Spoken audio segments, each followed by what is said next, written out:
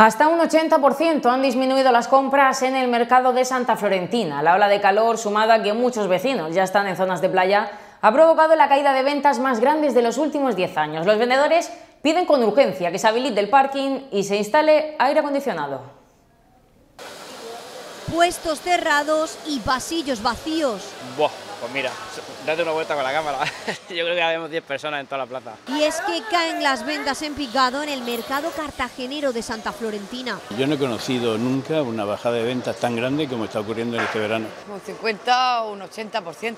Fácil, fácil, un 80%. Con la llegada de las vacaciones, muchos se han ido a la playa y apenas hay compras. Llevamos dos años que la gente no sale, no tenía vacaciones con la pandemia y tal, entonces pues ahora eh, vacaciones, viajes, entonces eso se nota. Además, la ola de calor y la falta de aire acondicionado no ayuda. A mí hace mucho calor ¡Oh, muchísimo! No se puede estar aquí en el mercado. y no hay, no hay quien esté aquí dentro.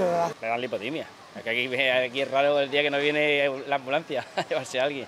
La gente va a cualquier supermercado y no tiene visa de, de salir porque están frescos y van a comprar dos cosas y compran cuatro. Aquí vienen y compran los precisos y se van. Y la subida de precios hace que muchos se piensen muy bien lo que comprar. Me gasté 30 euros en un día y no compro nada. Si estuvieran más baratos, Todo está por las nubes, hija. Por Dios, yo estoy viendo los precios y tenemos que dar vuelta para ver dónde encontramos los precios más asequibles. Por eso desde el mercado animan a los vecinos Sí, tienen que venir a comprarnos, que si no, hay mucha familia aquí. para repuntar la plaza de abastos de Cartagena.